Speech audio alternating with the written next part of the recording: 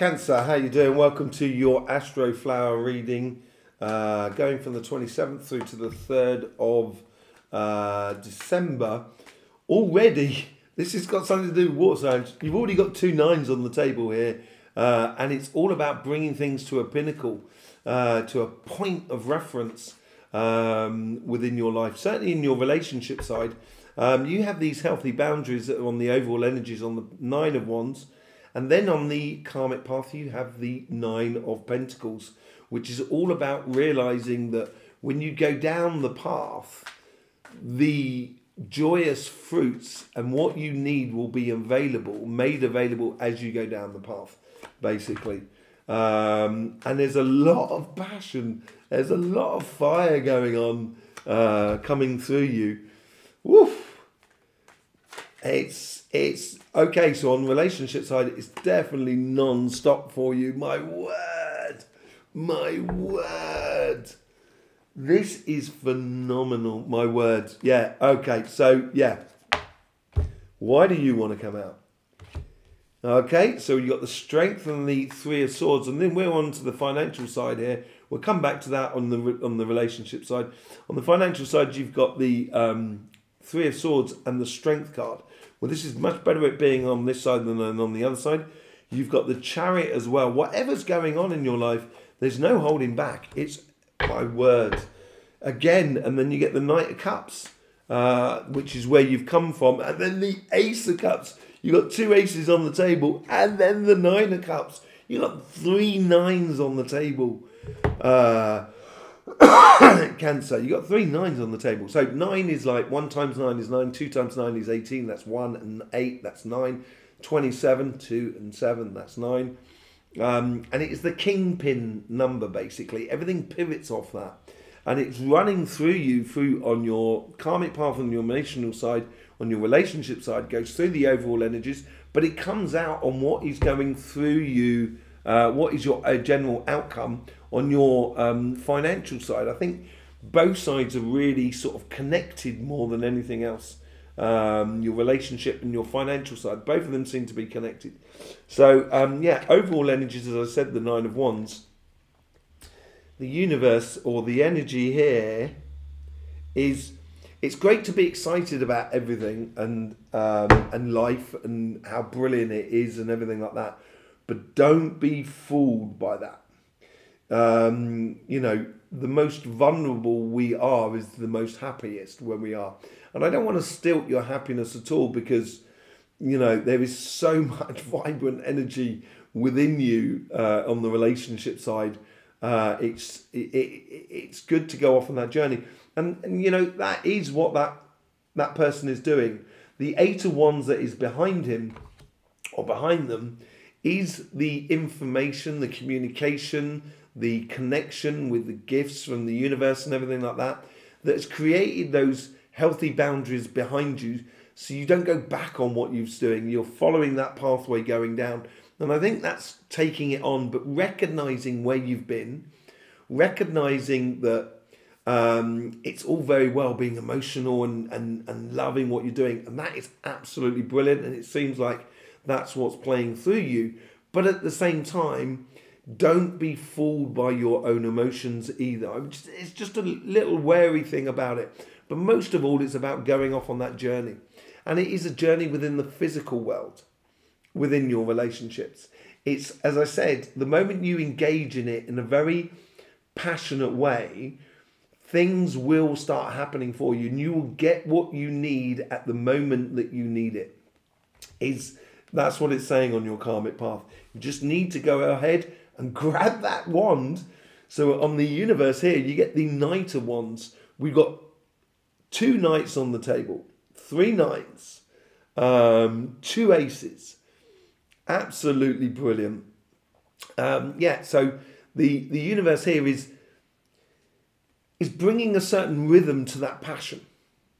Um, so it gives you a sort of construction for your your relationship uh, it gives you a certain um, order, a certain routine, as it were, that is built upon passions. And, uh, you know, that is a beautiful thing to have in your life. And the universe is encouraging you to explore that. You've enticed this into your life. You've called for it into your life through this Queen of Wands. Um, there's a lot of magic involved in as well, and that's what that whole love thing is about.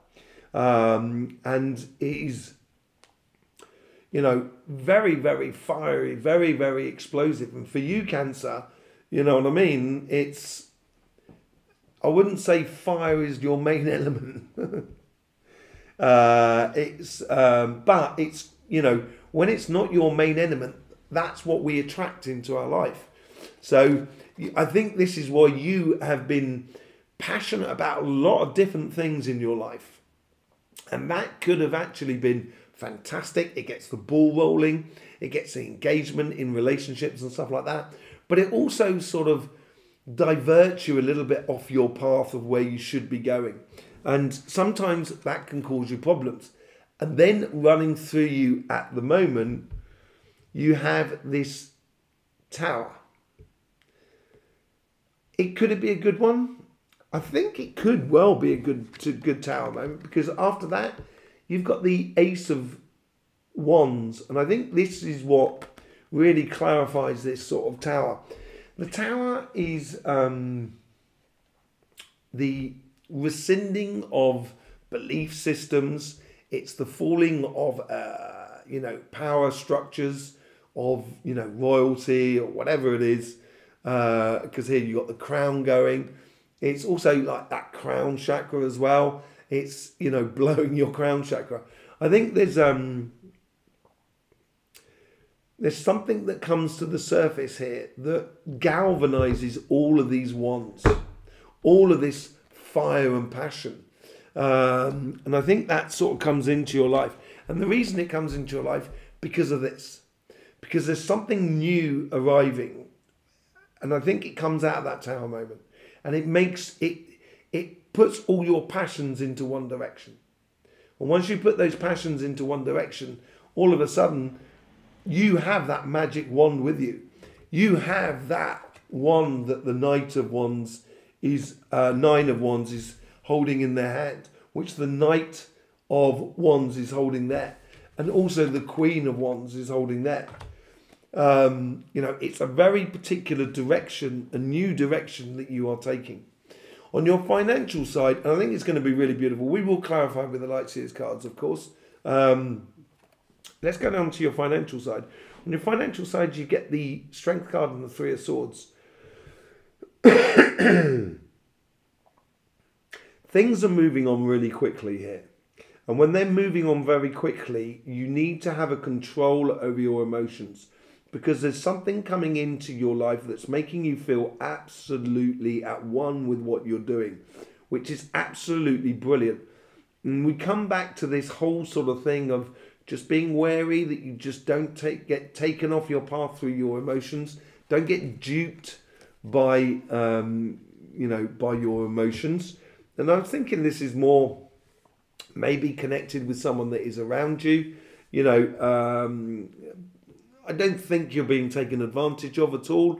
I just think sometimes that you know I have particular passions in my life, um, and they may not correspond to you. But once you're in that vibrant mood, you may just kind of go, well, let's follow your passions, and then you know you follow my passions, and then you know in in a in a period of time you start realizing that this isn't where I should be, and I think you've got to be stay true to that, straight, strong, and true to uh, what you should be doing uh, in your life. Um, so you, but within the material life, there you've really got to take out the emotional sort of side of it all. Uh, the universe here is trying to influence this with great victories, sudden victories that come in very quickly. That all of a sudden you get like information comes through that uh, you've got this new contract or whatever it is, and that just brings in this beautiful, and it comes in all quickly and it changes everything very quickly. And I think if you keep control of your emotions, this is what you've been offering yourself. You've got the Knight of Wands on this side here um, and you've got the Knight of uh, Knight of Wands on that side there, sorry, and the Knight of Cups on this side here, um, and you've got lots of cups on this side as well. Um, if you want to manifest, because that's what the strength card is all about, if you want to stay true to your manifestation of what you should be doing, you should realize that over your life, you would have had this inner desire to do something. And this cup is being offered to you, I think, by you, by what you want to do. And now, this is what this cup is all about. Now it's coming and playing into your life. You have this cup that is like within your your subconscious. This is your the Knight of Cups is your super subconscious, so it comes from the very long term plan. And I think this is something that comes from the past that you've been wanting to do for a very long time. Um, and now it seems possible, and you're engaging with that sort of uh, that sort of um, that sort of heartfelt um, pathway, which feels completely in alignment with what you should be doing, and because then you get the third nine out of it, which is the outcome of it all. And I think once you start getting involved with your heart's desires or the the karmic plan that you should be going on that is morally in tune with you, emotionally, uh, energetically, uh, and also physically within your world, all of a sudden, I think this is where you're going to bring a lot of things to you and a lot more you know, a lot more people who have cups as well that are going to bring this to the party. And then all of a sudden, you've got a lot of cups at your at your um, disposition, basically, as we go forward. So um, yeah, absolutely looking very very powerful for you at the moment, uh, Cancer. Very powerful reading. Uh, with the nine of wands, you get the four of wands. Marriage card wands again. So I think it pertains more to your relationship side than your financial side. It is the coming together of two plans. So the two of wands uh, from your side and the two of wands from the other person's side. Um, and that's what the celebration is, is about going from one dimension to another. that's what appears to be happening for you at the moment. But as you do go through that, just be wary, as I said, just be wary. Okay? Someone could well be proposing to you, and that could be that tower moment there in front of you. With the nine of pentacles, you get the nine of cups. Seeing the reality for what it is make will make you incredibly happy. Um, within the physical world, seeing the idea that once you start engaging and start going forward with your emotions, um, you know, and you start receiving as you need down this pathway, it's going to make you feel like you're skipping more than anything towards your destiny, uh, which is really, really nice. Really, really beautiful for you, uh, Cancer. Really love that idea. Okay, with the Knight of Wands, you get the Seven of Wands. Nothing but wands on this side, apart from that Ten of Cups, of course. Seven of Wands. I think here is the the universe is bringing that certain rhythm, as I said, this rhythm to the passion within your life. But you've got to stay on your path. You've got to follow your path. You've got to stay true to yourself, and I think that ties into the Nine of Wands as well. She's not holding a wand there. She's not holding a wand. She's holding her position, and I think even with this passionate thing that's coming into your life, I think you do need to hold your position and be true to you uh, more than anything else. With the Queen of Wands, you get the Star card. It's everything that you've dreamt of. I think all of those little things that you're getting involved with in uh, in the world around you, um, in the past, stimulating a lot of things, is now galvanizing into your dream, basically. It's really good.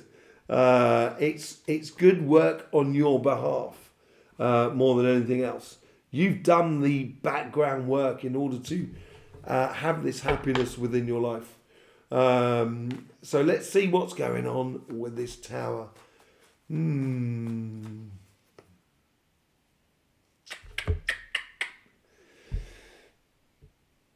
This could be a proposal of marriage. This could be a proposal moving in with someone or something like that. Whatever it is, it will change definitively your situation. Um, and at the moment, it's certainly working on fire. Now, you know, as I say, this is where I get, you know, this is where we get the idea of don't play with fire. And I think that's what a little bit of that warning is all about. It's also there's there's huge amounts of positives around it as well. It's that moving on to a whole new cycle. It's to do with that four of wands. It's marriage. It's connecting and everything like that. I would just be wary. That's all. It's just a little wariness that comes along with it. Uh, but it certainly looks really beautiful for you on the relationship side. Incredibly passionate. And then you get the chariot with the ace of wands. It's going to go very, very quickly every you know this change of scenario around you is going with such speed that uh, yeah going with a lot of speed basically uh, and changes are coming to your life very very very quickly um, so and and to do that i would just be wary that's all you know, just be very wary. You know, not very wary, but be wary. That's all. You know, but I think oh, in general, it's a brilliant situation with the uh, with the strength and the three of swords. You get the strength. Basically, stay true to who you are. Uh, allow those doubts to, um, you know, fall to the wayside, as it were. Uh, and yeah, just stay true to your heart. I think straight stay true to your energy, your spirit, your moral sort of situation in regards to your job and your business and your projects. Just be true to you. The universe is bringing in the um, Four Cups with the um, Chariot card. Sorry, couldn't remember what it was. Um, it's not I can remember. I couldn't get the, couldn't get the word out basically with the chariot card. This four of cups here is distilling these three cups here into that one cup there. And this is what's driving what you've been driving towards and offering yourself. And now you're getting that one cup. That is what you're sort of doing there. And it's a multiplier. This is it. I, I wouldn't I wouldn't dilly dally. I wouldn't wait around. I wouldn't um, there's no there's no there's no there's no rest here. It's things are moving on, moving on quickly. And yes, I would follow your heart and follow your heart's desires. This is your change of fortunes. You've created this. And it is because you've created it, it's bringing in a wind of change in your financial world. It's bringing you in your job and your projects and everything that you're doing. It's taking you in a direction that is um, yeah taking in a direction which makes you feel totally at one with what you do. And then you get the emperor card there as well. Look at that. That's really powerful. This is a massively powerful reading for you uh, cancer. You know uh, with the ace of cups you get the emperor as well um, having this control over your emotions here is so important. Distilling it all into a one particular direction, yeah, is so important. And once it starts going in that direction, you've got to own it. You've got to own your heart. You've got to own your enthusiasm. It's got to have a certain control over this. And I think that ties into the Nine of Wands as well with the overall energies there. The Sun card just wants to come out. It is going to make you happy. There is a lot of happiness because I think you're in control of your destiny. And I think you're owning it, and which is really absolutely beautiful. With the ten of nine of cups, you get the temperance card.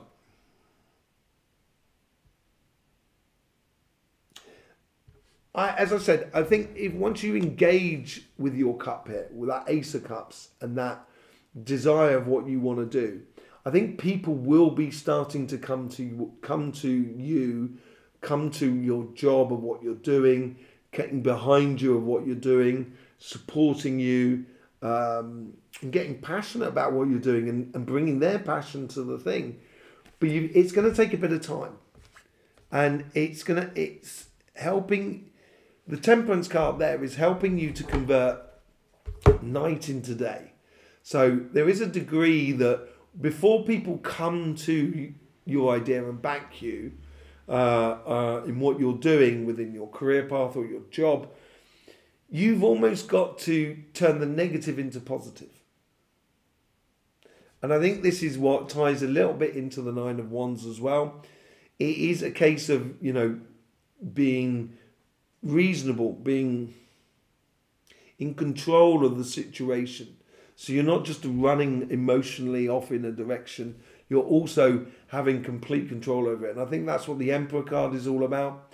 I think that's what the Nine of Wands is all about. I think that's what the Four of Cups with the Chariot is all about. Obviously, with the Strength card, with the with the Three of Swords, and you're creating something amazing but you've just got to be patient and allow people to come to you as you go forward. There you go, Cancer. Thank you very much for being here. Really do appreciate it. Appreciate all the support you give to this channel, whichever way in which you see fit. Uh, it's absolutely lovely. Um, yeah, I will um, see you this week for the monthly readings. We've got the monthly readings coming out. Uh, you're going to be heading into your summer energies, which is totally this. Uh, you're really heading towards that way. It looks like it's going to be a good um, December through to uh, December through to March, April for you, which is really good. And it's now is the time to move, uh, Cancer, and do it. So yeah, uh, don't forget about the monthly readings, and thank you very much for all the support you give to this channel. Don't forget, life should be fun, so please do enjoy.